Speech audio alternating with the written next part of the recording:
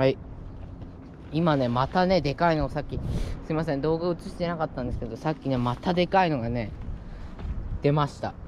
やっぱここのね、この、テトラポットのこの上のこの下の脇の部分、端の部分、あ、いた、またいたらしいっす。またいたらしいっす。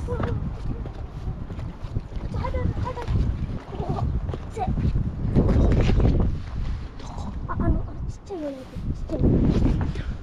あれ多分、こっち側からついてるから絶対出てくる。だった、ここ、ここ、ここ。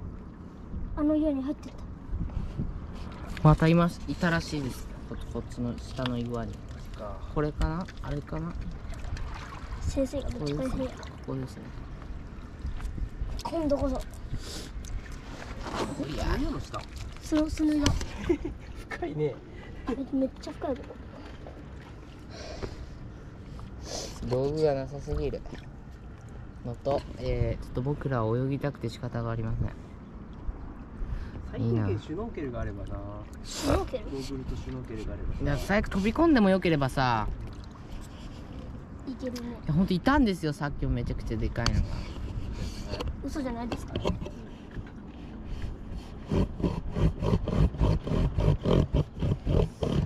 めっちゃ逃げるな。うわどんどん見つけて、どんーちょっとちょっと素手と海に入っちゃいけないっていう条件じゃきついねる。うん。体すぎた。かもいないんですよね全然ほんとこのは端このテトラポットのこのちょっと下の脇の部分がめちゃくちゃいますね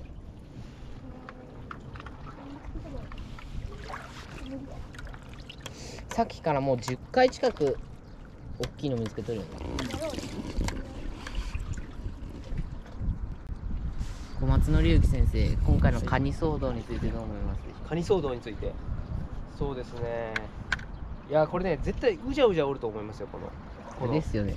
だから道具と、えー飛び込んでいいという条件さえ揃えば取れると。取れます。はい。取れます。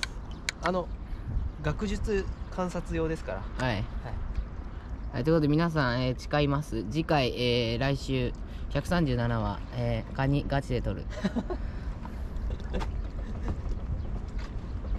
えー昼の1時頃からお送りいたします。